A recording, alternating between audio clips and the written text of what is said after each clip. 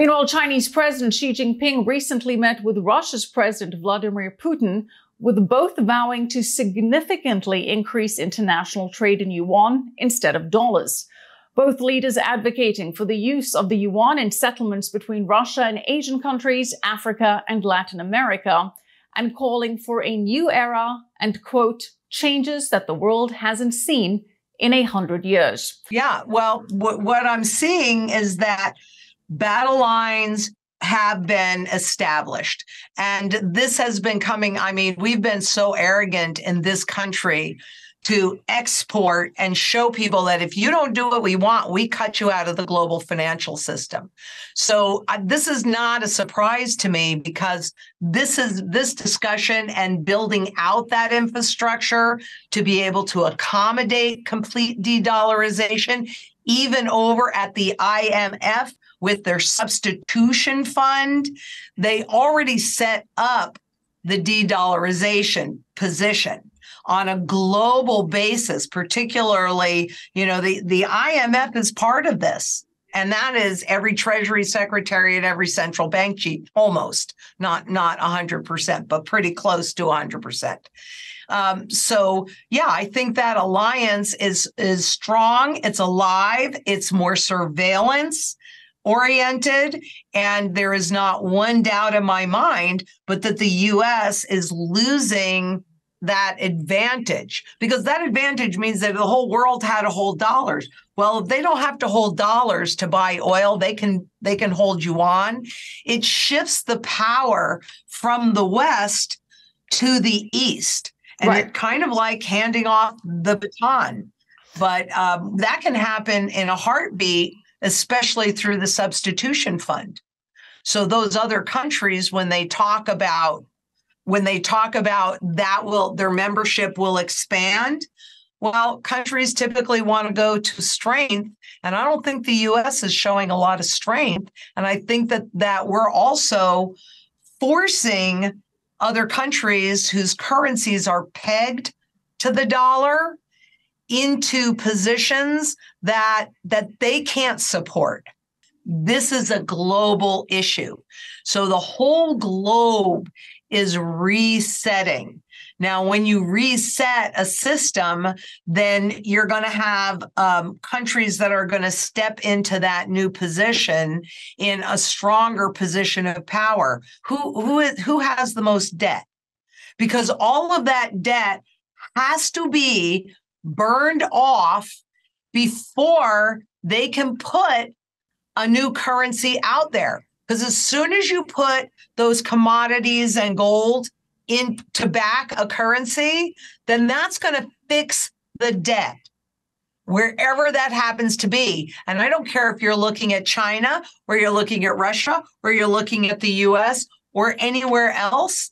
These debt levels, not that they're not sustainable, they're not payable. So, right. And what supports these, all of these global currencies is the full faith and credit of the respective governments. And they've used that piece up. Mm-hmm. So, so the way that I can see it and the way that I reconcile it is this isn't just a US issue. This is a global issue. And in order to push the agenda, they need a big enough crisis to get people just to follow along.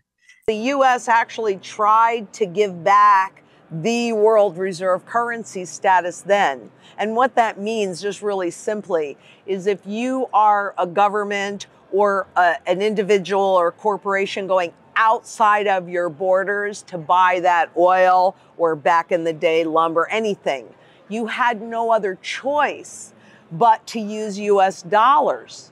Well, it's Saudi Arabia and the oil producing nations, OPEC plus. Who's that plus? Oh, Russia. Gee, if they now accept gold, rubles, yuan, any currency to buy that, that means the petrodollar is dead. And that's the only reason that the US retained its status since the 70s. So there are too many things, you're right, on a global stage we have really used up the confidence of the world because we've just been exporting inflation. You know, and, and if you go back and you listen to some of the uh, tapes like um, you know, uh, de Gaulle was saying that the U.S. was abusing its privilege. Yes, we've u- abused our privilege a lot.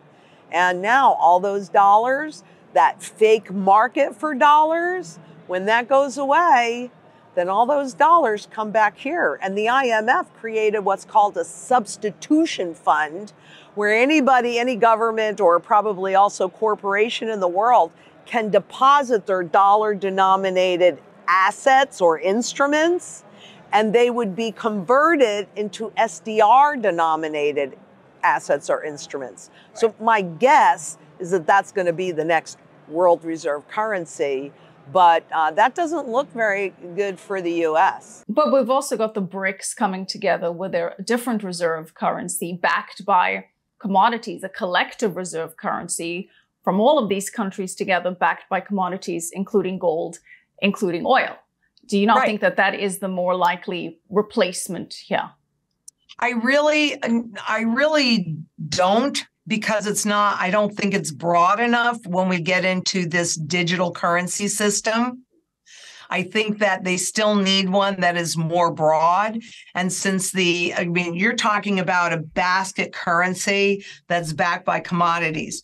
First of all, in order that could be them, a, a, digital version of that as well. A digital, absolutely, but it has to be easily convertible. And I don't know that that would be globally easily convertible like the SDR would be more easily convertible. And the okay. weighting of those BRICS currencies can be much bigger inside of the SDR. But then you'll have the global currency and you'll have the local currency. And that's what the dollar is going to end up being is just a local currency. It's not a far stretch to look at the choices that our government and our central banks have made to see that they pick winners and they pick losers. And you and I are like the right size to fail. So no, there I'm sorry, it's at the end. It's too late. There there was an opportunity and and for those countries because i have a lot of people that say well china's going to back their currency with gold or russia's going to back their currency with gold. And ultimately yes because that's how they're going to regain the confidence. But they have to burn off all that unpayable not just unsustainable the unpayable debt. They have to burn that off. And the way that governments especially advanced governments do that is by hyperinflating the currency so that you're repaying that debt with currency that has no value. Well, guess what? Individuals can also use that same strategy, can't they?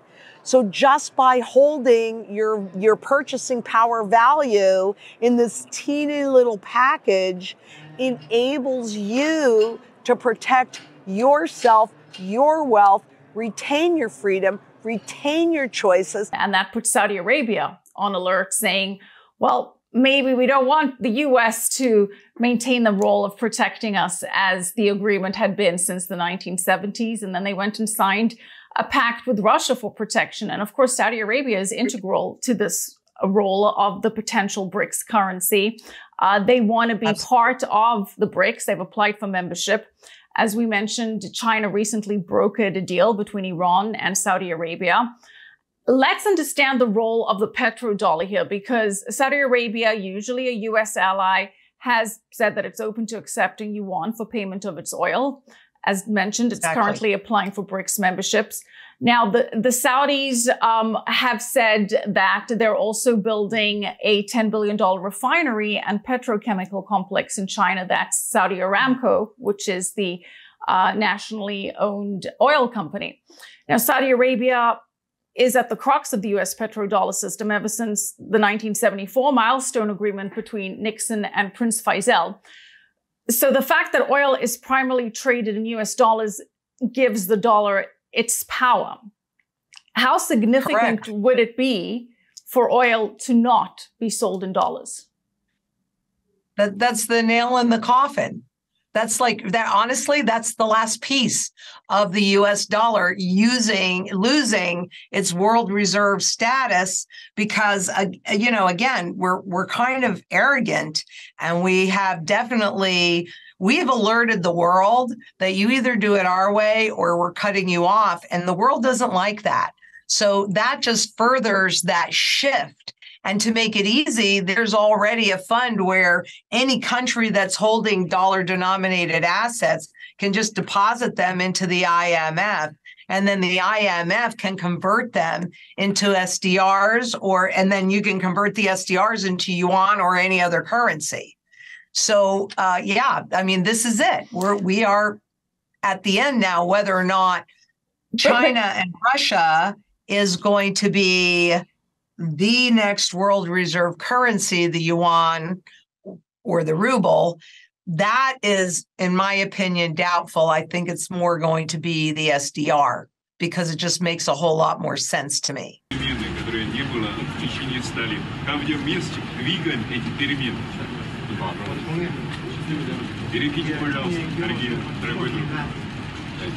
All right. Well, in that clip, we had President Putin and President Xi say that they are going to make changes to the that the world hasn't seen in a hundred years, calling each other friends, and they earlier pledged that they want to move the global trading system away from the US dollar. Is this de-dollarization trend accelerating faster than you expected? Oh, I don't know that it's faster than I expected, but this de-dollarization trend has actually it started back in December of 2002. So what's been happening is that it's been accelerating. And I mean, I don't know. I mean, this could just be a coincidence. But when you look at Saudi Arabia, I mean, the whole reason why the US dollar kept its position as the world reserve currency was because of the petrodollar. Right. And this talk of de dollarization, it's accelerating, but they've been putting all the infrastructure in place for a number of years now. So this is not really new. But yes, I think it is definitely accelerating. And I'm wondering if it is just a coincidence that Saudi Arabia was a big backer of, of Credit Suisse, and then Credit Suisse put sanctions on Russia. And then all of a sudden, Saudi Arabia wasn't going to come up with more money to save Credit Suisse. So how much did they lose by, you know, being what was it, the largest or second largest shareholder? I mean, and and Switzerland is more aligned with the US so, I mean, is that a coincidence? So, Lynette, how do you reconcile these two ideas? I mean, does the US want to lose its dominance on the on the global stage? I mean, surely not, because it's been such a source of power to have the US dollar as the king of global reserve currencies. You know, I mean, I know that we tried to give back that status in uh, 1969, back in that period of time, that's when the SDR was created because we tried to give it back. But um, so, I mean, sometimes when you just know you're at the end, then what are you going to do? And you're going to play into that so that you have some level of, of advantage. No, I don't think that we want to just give it away because then we lose all of that advantage. And those that live in the US are going to feel the pain of that more than anywhere else in the world because we've had this advantage for so long and we and we don't realize it. But it would be easier to do the de-dollarization using the IMF's substitution fund rather than because a reserve currency isn't necessarily the world's reserve currency. It's just an additional reserve currency. Does that but make you sense? don't you don't think that the US would not give up without a fight, that there could be a kinetic war to try and preserve this level of status that the US has enjoyed and many would say abused? Well, that's the point. I mean, if you want to maintain a status, then you probably need to maintain allies. And from my perspective, when I see what the choices that we're making, we're, pardon me, pissing people off. We're pissing countries off. We're not really um, trying to maintain hmm. that alliance as well as we should. I think we're more bullying than we are cooperative. So, so I, I, guess it's a it's a question. Firstly, do you see that there will be potentially a war to maintain the status, a, a physical kinetic war. Well, I think there already is a war that's that's going on, and I think it's a proxy war. Okay. The Russia I think, Ukraine. I think we're already at war, and I think the other part is um, that that the people are used to seeing boots on the ground war, which is this proxy war between Russia and U- Ukraine. But look at how much support we're giving one side, China's giving the other side, et cetera. So I'd say that we're already in that proxy war, but the real war is being fought in cyberspace. And mm-hmm. that's something, again, that's hidden from the normal public to see. And some people think that that's been going on for a number of years already.